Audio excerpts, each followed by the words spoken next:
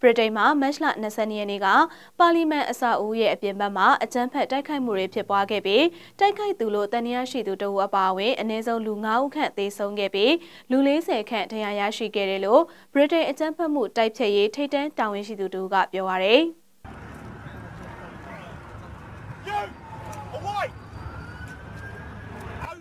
တိုက်ခိုက်သူဟာ ဝက်မစ္စတာတရားမှာသွာလာနေသူတွေကိုကားနဲ့ဝင်တိုက်ခဲ့ပြီးပါလီမန်အဆောက်အဦအပြင်ဘက်မှာရှိတဲ့ခြံစည်းရိုးတွေကိုအရှိန်နဲ့ဝင်တိုက်ခဲ့ကြောင်းအဲ့နောက်သူဟာကားရဲကနေထွက်ပြီးဓာတ်တချောင်းကင်ဆောင်ကရဲတအုပ်ကိုထိုးခဲ့တယ်လို့မျက်မြင်သက်သေတွေကဗြိတိန်မီဒီယာတွေကိုပြောပါရယ်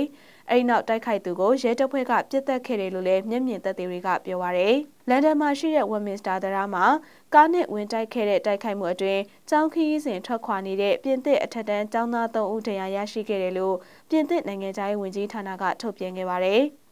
ဗြိတိန်ပါလီမန်အနီးတိုက်ခိုက်မှုအတွင်းဒဏ်ရာရခဲ့တဲ့အမျိုးသမီးတအုပ်ကိုလည်းသိန်းစမြစ်ထဲကနေအသက်ရှင်လျက်ကယ်တင်နိုင်ခဲ့တယ်လို့လန်ဒန်စိတ်ကန်းအာဏာပိုင်အဖွဲ့ကထုတ်ပြန်ခဲ့ပါတယ်။ မျက်မြင်သက်သေတဦးဖြစ်သူဝီလ်ကီဆင်ရဲ့ပြောပြချက်အရသူတို့ဟာဘစ်ပန်နိုင်စင်ကိုတပ်ပုံရိုက်နေစဉ်လူတွေကသူတို့ထံပြေးလာနေတာကိုတွေ့ရကြောင်းအသက်40လောက်ရှိမယ်လို့ယူဆရပြီးရှယ်အင်းကြီးပေါ်မှာအပေါ်အင်းကြီးထက်ဝစ်ပြီးအနက်ရောင်ဘောင်းမီရှည်ဝစ်ဆင်ထားတဲ့အာရှအမျိုးသားတဦးကိုတွေ့ခဲ့ရပြီးသူဟာခုနှစ်လက်မှရှစ်လက်မှခန့်ရှိတဲ့ဓားကိုကင်ထားတယ်လို့ Press Association သတင်းဌာနကိုပြောပါရယ် အဲဒီနောက်တနက်တန်၃ချက်ကြားလို့လမ်းဖြတ်ကိုပြေးသွားကြည့်ခဲ့ရာအဲ့ဒီအမျိုးသားဟာသွေးထွက်ပြီးလဲကျနေတာကိုတွေ့ရကြောင်းသူဟာပါလီမန်ကိုဦးတည်တဲ့ဂိတ်ပေါက်တွေကိုဖျက်ပြေးခဲ့ပြီးရဲတွေကနောက်ကနေလိုက်လံဖမ်းဆီးခဲ့တယ်လို့လည်းအဲ့ဒီမျက်မြင်သက်သေကဆိုပါတယ်။ပါလီမန်မှာအပတ်စဉ်ပြုလုပ်နေကြမေကိုမေးမြန်းဖြေဆိုတဲ့အစီအစဉ်အတွက်အစောပိုင်းမှာရောက်ရှိနေခဲ့တဲ့ဝန်ကြီးချုပ်ထရီဇာမေကိုတော့ကားတစ်စီးနဲ့ပါလီမန်ထဲကနေခေါ်ထုတ်သွားခဲ့တယ်လို့